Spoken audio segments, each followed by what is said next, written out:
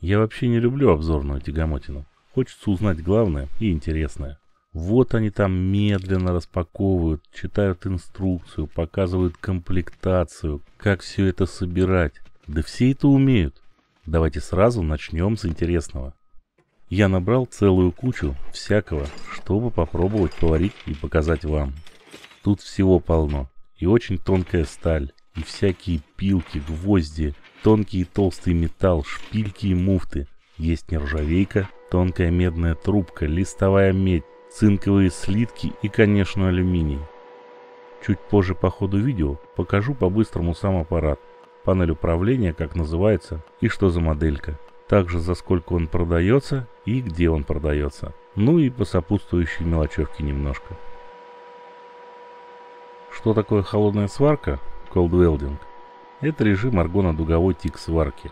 По большому счету, это сварка мощным коротким импульсом. Я много посмотрел всякой информации, и это название объясняют по-разному. В основном холодная она, потому что она позволяет не перегревать металл и позволяет варить металл от больших до очень маленьких толщин.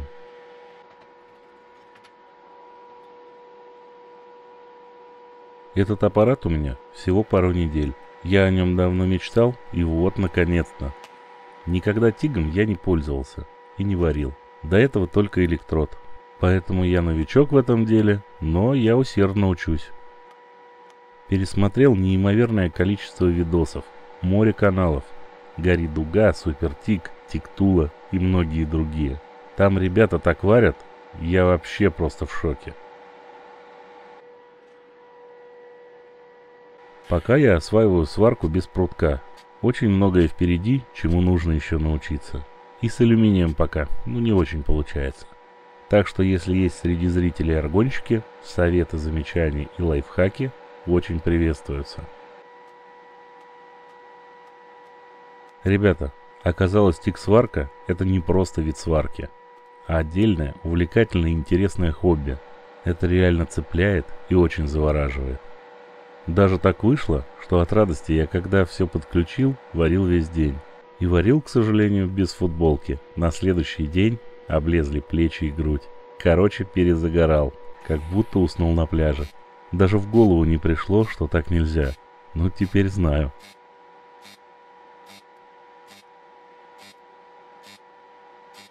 Эта сварка всего лишь инструмент, но этот инструмент дает возможность самому воплотить жизнь самые невероятные проекты. Например, варить нержавейку. А преимущество нержавейки огромное количество. Она может то, что не может дать обычный листовой металл, например. А алюминий – превосходный материал, который можно обрабатывать дома, переплавлять из хлама. И с алюминием этот аппарат тоже справляется.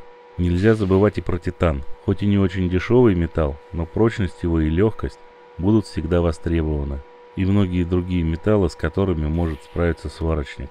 Различные марки сталей, цинк, медь, различные сплавы, латунь, бронза и так далее.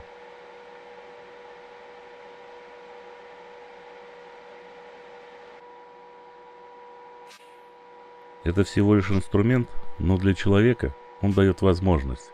Возможность сделать больше, выйти на новый уровень, познавать новое. Но вы же знаете, кто хочет, ищет возможность а кто не хочет, ищет оправдания. Ну давайте ближе к делу. Я не могу сказать, что этот аппарат лучший. Во-первых, это мой первый тик-сварочник. Есть аппараты намного лучше. Всегда есть что-то лучше. Это один из самых подходящих для меня аппаратов по соотношению цена, качество и возможности. В России именно эту модель я найти не смог и заказывал на Алике у официального магазина производителя – Ссылку на магазин и на сам аппарат я оставлю в описании под видео. И сразу скажу, это не реклама. Я оплатил полностью стоимость этого аппарата. Ждал доставки целых три месяца. Даже спор открывал. По срокам они не укладывались.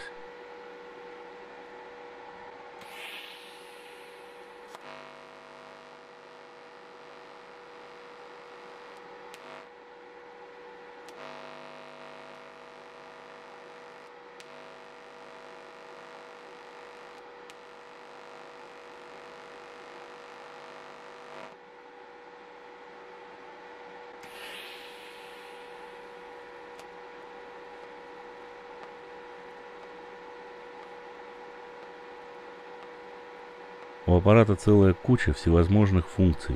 Он может варить как переменным, так и постоянным током. Режим холодной сварки также на переменке и на постоянке. Регулируется ток и время импульса. Есть импульсный режим сварки. Также везде доступен. Много различных настроек, от частоты импульса и амплитуды до баланса и частоты. Минимальный ток аппарата 10 ампер, максимальный 250. Для меня пока больше в принципе даже и не нужно. Но в аппарате нет режима 4Т, только 2Т. Но я как-нибудь это переживу, кнопку сварки могу и подержать. Есть возможность подключения педали. У меня ее нет и вообще я не знаю, нужна ли она мне. Ну а если понадобится, сделаю, конечно же, сам. Но чтобы много не разглагольствовать про все технические данные, по ссылке есть все характеристики аппарата. Я брал полную комплектацию. Пришло аж три различные горелки. Не разобрался еще, для чего именно три. К ним около 30 различных сопел с разными цангами и так далее. Также прислали комплект со стеклянным соплом и какой-то сеточкой. Вроде это газовая линза, по-моему она так называется. И две коробки с вольфрамовыми электродами, серого и зеленого цветов. Так, про комплект вроде бы пока все. Теперь что по ценам. В России сейчас достаточно много моделей сварочников этой фирмы. Из них есть и комбайны 3, 4, 5, 6 и все это в одном и так далее. Но мне многие в комментариях советовали комбайны не покупать. Ребята, спасибо вам за комменты. Комменты всегда реально выручают. Я очень долго мечтал о Тиге. Мне казалось это так красиво, и я не ошибся. Это реально волшебно. Короче, я решил, если выбирать, то чтобы аппарат все мог. Ну, относительно все, конечно. И переменный постоянный ток, и новый режим Cold Weld, холодной сварки. С режимом так называемой холодной сварки есть и другие модели у них. Короче, выбор широкий, оставлю ссылочки. У себя по месту уже купил редуктор аргоновый, самый дешевый, обошелся в 200. Кучу различных прутков для сварки, различного диаметра из различного металла, они там, ну, совсем дешевые и БУ газовый баллон. Сразу поменял его на заправленный, баллон обошелся около 6000, заправка 700 рублей. Аргон иногда коптит, я так думаю, что это из-за его частоты. Аргон марки ВЧ найти не удалось. Да этот ты еле нашел у нас. Вот такой вышел обзор. Я сразу предупреждал, обзорщик я тот еще. У меня уже очень много идей, которые буду тут опубликовывать.